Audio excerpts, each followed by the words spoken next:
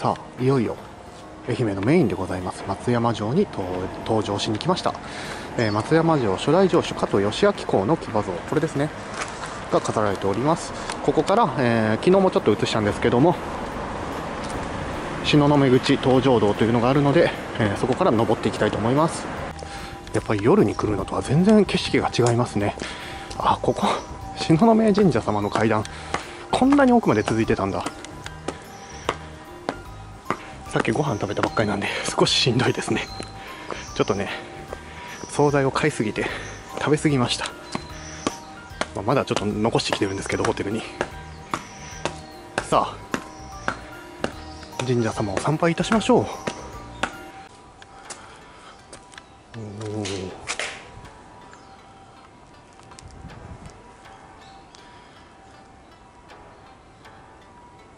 すごい。こんだけ階段登ってきた場合にはすごいシンプルであのいいところですね。語彙力がやばい。はい参拝いたしましてそしてこちらの左側に向かえばあそうですね。多分あの歩きの搭乗口の方に合流しますね。ロープウェイとかリフトも動いております。ちなみにロープウェイリフトは、えー、往復で520円となっておりましてまあ、あの楽に行くんだったら全然ありな手じゃないかなと思います。片道270円でした。ロープウェイロープウェイかからの景色もちょっと気になりますけどね。では頑張って登っていきましょう。いやものすっごい急勾配。これあのがっつり思いっきり急いで歩くと体力がっつり持っていかれるやつですね、まあ、ゆっくり行きましょうゆっくり。ゆっくり登ってきましたが意外と近かったですね。立派な石垣がそびえ立っております。天守まではもう少しかな。天守まではまだですが眺めのすごい良いところに出てきましたね。いやこれすごいな。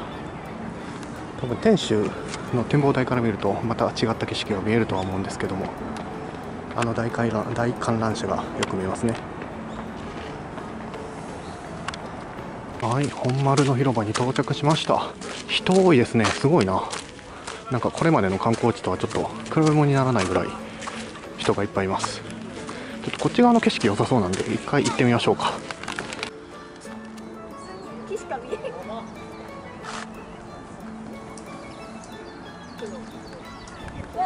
そしたらこれでも人少ない方なのかな。もしかしたら天守閣入るのに待ち時間とかあるかもしれないですが。まあ、もちろんねせっかくなので登場してまいりましょう。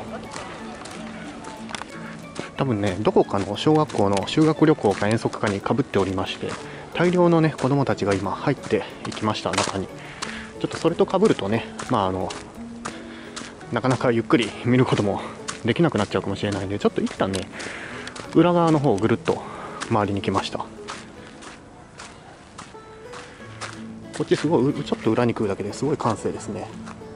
ここに松山城の天守閣が見えております。もうちょい下がればもっと見えるかな？本当ちょっと裏に回るだけで全然人いなくてゆっくりできますね。ここの広場は何だろう？結構こっち側にもねお城関係の櫓とかそういったものがいっぱいあっていい感じなんですけどね。こっちも搭乗口か一つ。そうですね。ここ降りていけるんで、まあ、こっち行っちゃったら帰っちゃうんで。別の搭乗口ですね多分。裏手に当たるのかな？だからこんだけ人が少ないのかな？なかなかねこれ立派ですよ。ていうか松山城めちゃくちゃでかいなこの天守閣にまつわるこの周りの建物っていうか連なっている建物が。こんなに大きかったっけなっていう感じが本当にしますからねあの一つ一つのお城が。これまで見てきてるお城がこんなに広かったかなってちょっと不思議ですね。そうですね。小町方面に降りていく道が先ほどのところですね。裏側になるから多分全然人いないんだろうな。でこっちから見るとすごいいい感じに映ってますね。ここれが天守閣かな。で天守に連なる、まあ、他の建物も一緒にあるという感じでしょうか。ここが多分一番お城が綺麗に撮れるスポットな気がしますね。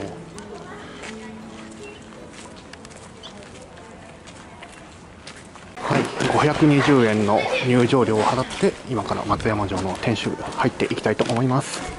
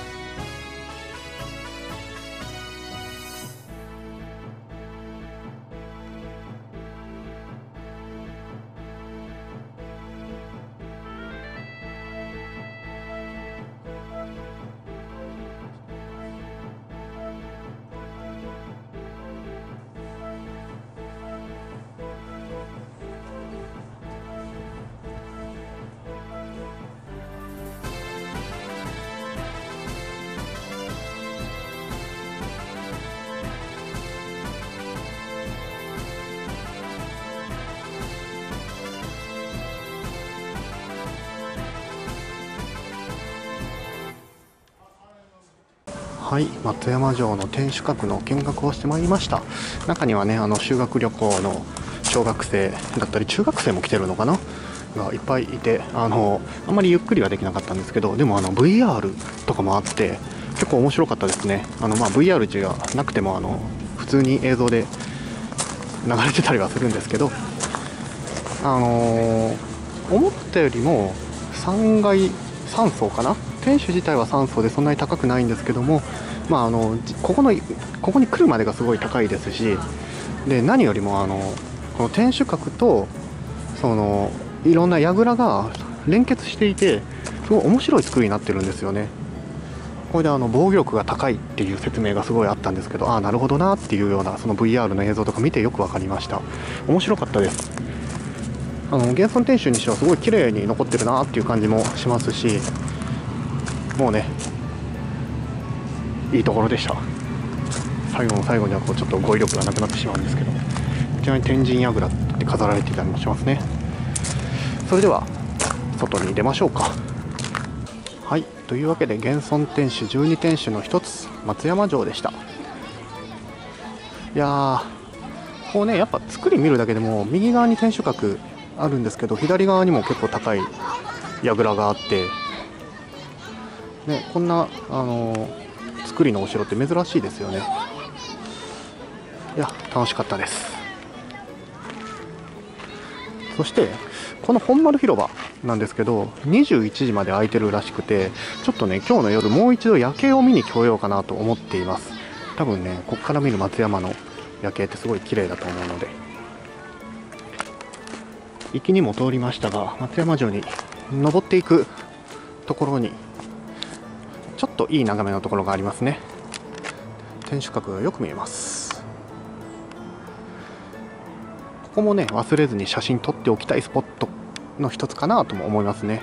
しかしこの石垣やっぱ近くで見るとめちゃくちゃ立派ですね。さあ来た道とは違うところから降りてきましてこちら二の丸広場ですかね。すごい綺麗だな。ちょっとびっくりしたぞ。めちゃくちゃ整備されてる。先ほどの綺麗なところはこれですね。松山城二の丸跡の庭園でございます。ここも入場料かかるみたいですけど行ってみましょう。あ200円ぐらいな。ら全然いいや。行きましょう行きましょう。ここのね入り口であのコインを掲げて写真を撮ってるカップルがいたんですけど。なるほど。誓いのコインに思いを馳せる恋人の聖地。こんなことになってるんですね。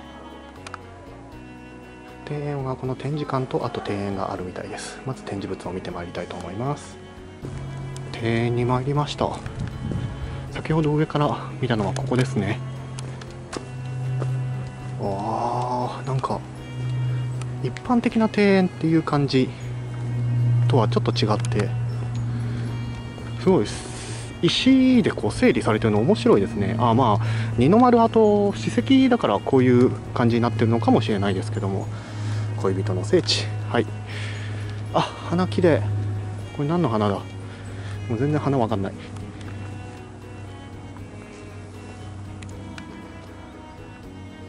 あ松山城も見えるしすごい。いいいいですね。ここの庭園いいですね。のどか。すごいのどか。人もいない。えー、ここすごいいいところですよ本当花も綺麗ですしね。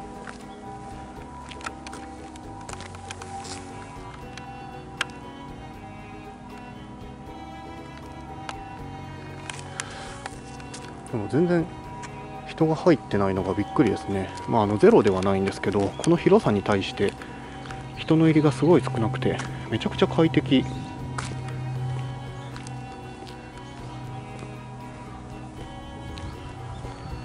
まあ、あの時間のある時にまったりする感じですかね落ち着くわちらは何だろう？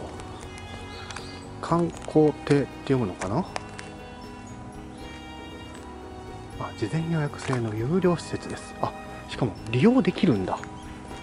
貸し会議室みたいなイメージでしょうかね。そしてここには大井戸。昔の大きな井戸の機構が残っているようです。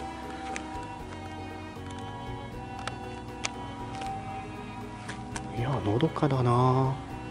今日ちょっと暑いぐらいの天気なんですけど。すごい春の日にここでボケーっとできたらすごい幸せでしょうね。今日みたいな日なんですけどまさに。最初にも申し上げましたが普通の庭園と違ってやっぱりこんな感じでここはあくまで二の丸のあった場所の意向なのでそれを生かした感じでこういう庭園にしているのがすごいいいですね。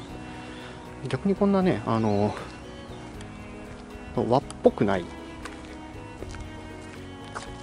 石造りでカクカクの庭園っていうのもなかなか珍しいなと思います。あ風が気持ちいい。ちょっとした池にも鯉が泳いでいますね。一応ね順路とか書いてあるんですけどまあだいぶよくわからない順路になっていて全然あの無視していろいろ回っているんですけども。こんな上の方も行けるんだ。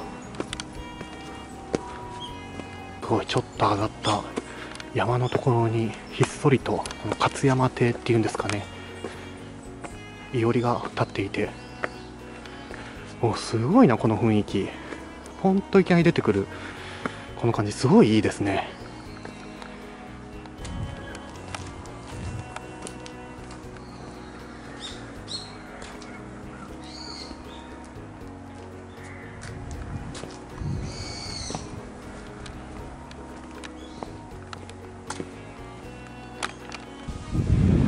ここの庭園200円にしては見どころめちゃくちゃあるしゆっくりできるしすごいいいところですね。なんか松山に住んでたらたまの休日とかに200円払ってここ来てボケーっとしたいなっていう気にはなりますね、まあ、そんな風に考えるのちょっと年取ってるのかもしれないですけども本当に気持ちいいここ、まあ、天気がねめちゃくちゃいいっていうのもありそうですね。普通に時間もまだ余裕があるので。今日はねあの道後温泉と松山城がメインだったんで他はまあちょっと夕方夕日を見に行くぐらいしかあとはないのでとはいえまだ12時過ぎですのでちょっと他にもそろそろここ出て他にも見ていきたいと思います。いやいいところ。皆さんもぜひこの二の丸跡の庭園には訪れてみてください。先に見とけって話ですけど庭園の案内図がありますね。この展示室とかからあって一番上の勝山亭そしてここはあの先ほど城壁を見たところですね。広い。そしてすごいまったり。いい場所でした。